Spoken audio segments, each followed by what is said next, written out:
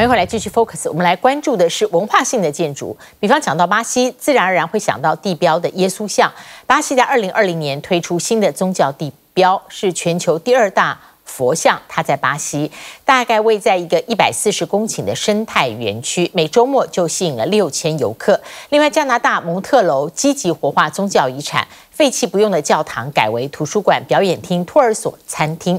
再到南美洲。玻利维亚第二大城阿尔托市用夸张建筑吸引观光客。那么，这种被称为肖雷特的建筑群，融合了动漫电影元素，从变形金刚到漫威宇宙，在那里都看得到。变形金刚电影中博派的重要角色大黄蜂停在建筑物外墙上，瞪大眼睛。这个城市里，变形金刚就镇守四栋建筑。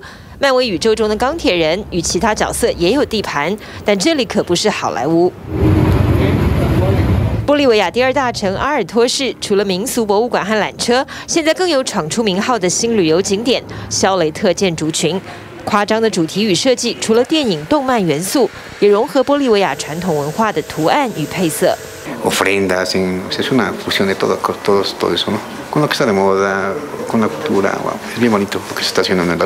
在这座海拔超过四千公尺的城市，百分之三十六的人口还算是低收入户。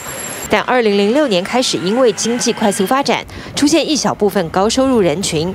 这类夸张豪奢建筑也因有钱人炫富或商业营运需要而生，遍布全市超过三十栋。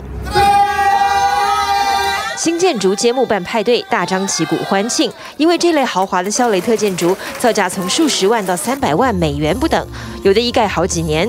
从商场到豪华办公室，甚至酒店、三温暖等场地，从内到外气派夸张是基本要求。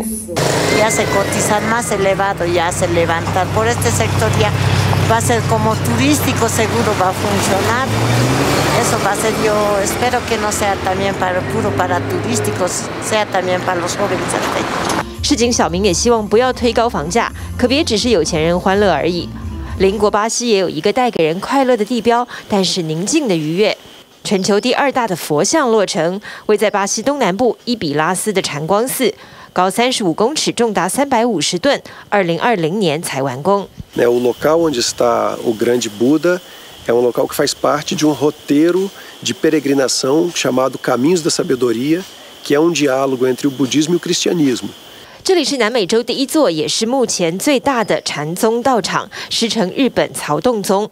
巴西虽有八成人口信奉基督宗教，多数是天主教徒，但也有二十五万佛教徒以及一百五十座佛寺，是美洲佛教人口排名第三多的国家。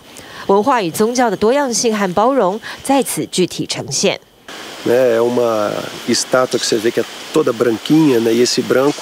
É uma referência a essa paz que todos nós podemos alcançar, independente de pertencer a uma ou outra tradição religiosa, ou mesmo independente de não ter nenhuma religião, né? É, do Buda, apesar de sermos católicos, mas nós sempre tivemos um bom relacionamento e um bom entendimento. E o Buda transmite paz, tranquilidade, esperança.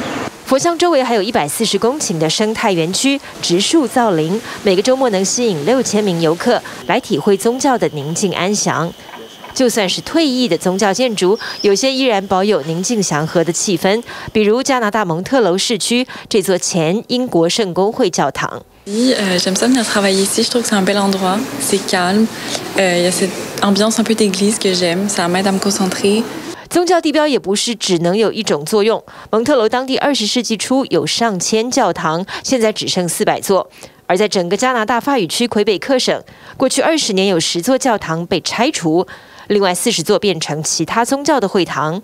这个圣公会教堂的彩色玻璃与祭坛都被保留，另外一座天主教堂则被改装为多功能表演厅，同样留下祭坛与花窗融入新设计中。Le patrimoine religieux a eu une certaine importance, on ne se le cachera pas, au Québec. Puis de le reconvertir dans sa mission sociale comme aujourd'hui. 还有一座教堂被社会企业接手经营，改头换面成为包含社区自助餐厅、宴会场地出租、烹饪学校，甚至流动配眼镜服务的综合场地。其他教堂也因应本身建筑特性。被改造成托儿所或者日间托老中心。En général, on ne veut pas détruire les églises si on peut les conserver parce que ce sont des édifices généralement de beauté et presque toujours qui, qui marquent bien l'espace urbain. Ce sont des points de repère importants. 过去是人与神交流的地方，如今促成人与人的对话和互动。